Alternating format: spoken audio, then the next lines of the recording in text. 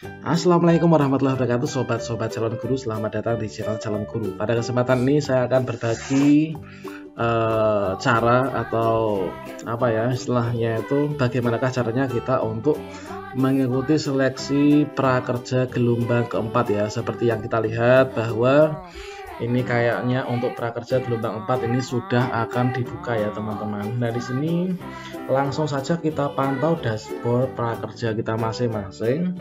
Nah di sini uh, supaya lebih cepat lebih baik ya, ini kita masukkan prakerja.go.id.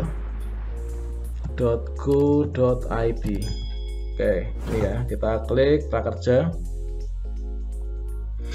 Kemudian bagi sobat yang sudah mengikuti prakerja gelombang 1, gelombang 2, gelombang 3, gelombang 4 kemudian belum berhasil maka di sini kalian bisa untuk bergabung dalam prakerja gelombang 4 ya. Nah, di sini kita klik masuk ya.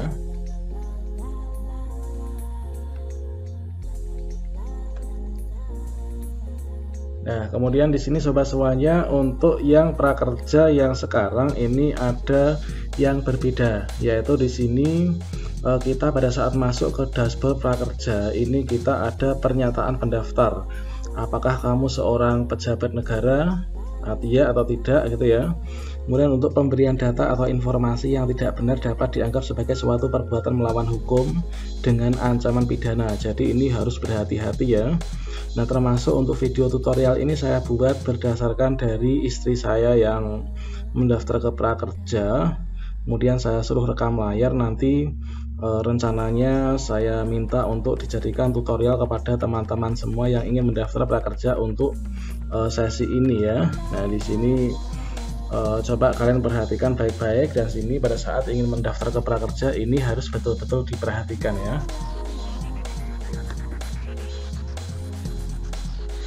Nah, di sini sobat semuanya setelah kita ini kalian itu uh, sampai pada halaman ini jika kalian ini seorang pejabat negara di sini kalian pilih ya kalau tidak ya tidak ya. Apakah kamu seorang pejabat negara? Ini adalah tidak. Kemudian langsung berikutnya. Apakah kamu seorang pimpinan dan anggota Dewan Perwakilan Rakyat Daerah? Ini adalah ya atau tidak ya ini tidak. Kemudian berikutnya. Apakah kamu seorang ASN ini adalah tidak Apakah kamu seorang prajurit Tentara Nasional Indonesia? Tidak. Apakah kamu seorang anggota kepolisian negara Indonesia? Tidak. Kalau iya ya iya ya, jangan sampai kalian berbohong. Apakah kamu seorang kepala desa? Ini adalah tidak. Istri saya itu adalah peng apa ya istilahnya itu ibu rumah tangga ya. Apakah kamu seorang direksi, komisaris, dewan pengawas pada badan usaha milik negara atau daerah? Ini tidak kemudian selesai. Nah, ini adalah pernyataan e, pendaftar selesai. Terima kasih sudah mengisi pernyataan kamu pernyataan yang kamu isi berhasil di submit ya. Oke. Okay. oke okay, begitu sobat semuanya. Berikutnya itu adalah pernyataan pendaftar. Nah di sini nanti kita masih menunggu untuk uh, apa itu ya? Kita mendaftar ke prakerja gelombang 4 nah kebetulan istri saya itu dia prakerja gelombang 1 gagal prakerja gelombang 2 gagal prakerja gelombang 3 gagal.